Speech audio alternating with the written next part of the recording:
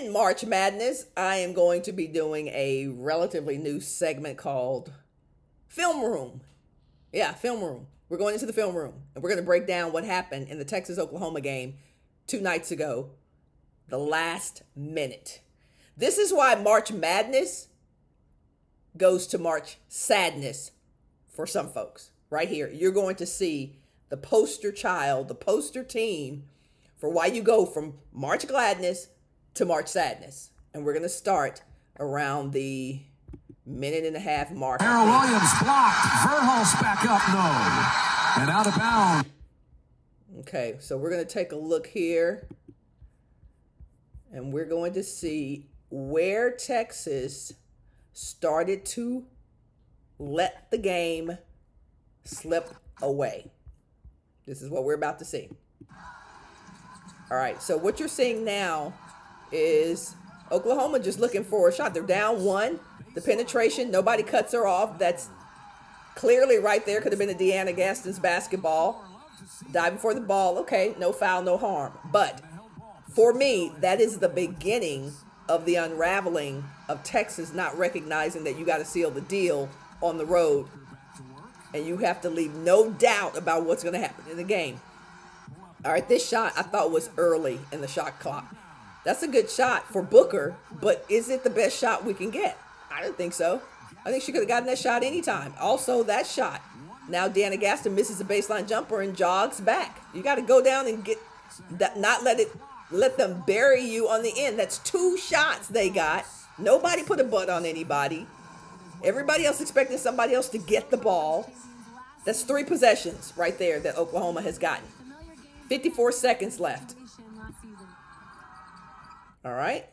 Miss pass here. Taylor Jones goes to get the basketball, but what she does, that's a very big detail, but it's a mistake. She dives on the floor, but she leaves the ball exposed. So in that situation, dive on the floor and cover the basketball so there's no way they can double team. There's no way they can actually tie the ball up. She she dove on the ball literally kind of on her knees, and that meant anybody could get the basketball. All right, so what happens in that moment? Payton fouls out. Booker's going to get to the free throw line. Te- Texas still up by one, 49 seconds left. Okay, so Book's going to knock down both of these free throws. And Texas is up three. All right? So Blair saying, get back, get back. But what you got to do is you got to guard.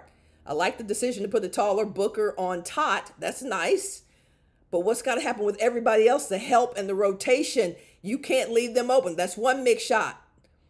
Grab the basketball. Like, like you're there. That's a that's another moment. You seal it. Good pass. The penetration here. It's going to come back, get the basketball, take a shot, pretty much wide open. Nobody.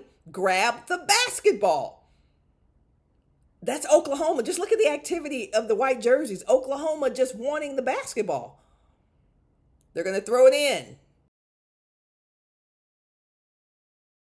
Okay, inadvertent contact, but she's going to get free throws. They're still down three. Player's going to shoot this one. I can't remember she made this or not. Okay, makes that one.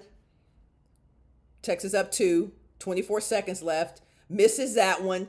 Right there. De- DeYona Gaston, go get the basketball. Now they throw it back to Oklahoma. Y'all, they've had like nine possessions. Right there, they're going to call a travel on Booker. Now, I don't know if that was the right call or not. I have to go back and look at that again. But what I do know is time score situation. Book grabs the basketball and takes off as if she has to do anything other than wait for them to foul her. That's what needed to happen. So now there's a violation. Staying on the Oklahoma end of the game uh, of the of the court. This is like their eighth or ninth possession.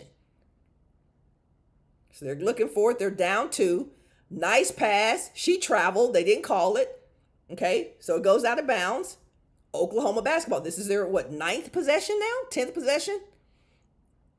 All because Texas has not closed it. Nobody's boxing out. Nobody's squeezing the basketball. Nobody's paying attention to the details. Good pass. She's gonna miss this. Misses it. Grab the basketball. Oklahoma, three. Oklahoma up one. 4.5 seconds remaining in the game. Now, what we're going to see, we're going to see, we see that again. Grab the ball. DeYona Gaston, instead of just grabbing the basketball, is hitting it, Oklahoma tosses it to their three point shooter. And, you know, now it's a different ball game 71 70. Horns down, sir. Or, oh, oh sorry, that's a ma'am. that's a ma'am, sorry. I didn't see you, chick. I did not see you. All right. Here, I can't tell. I wasn't on that side, so I don't know what happened here. Book obviously thinks she got fouled, but you're not going to get that on the road. You're just not going to get it. Oklahoma did an incredible job in the last minute 11 to 12 possessions, offensive rebounds out the wazoo, just fighting. What I saw in Oklahoma is that they did not want to share their championship with Texas two two years in a row. That's what I saw.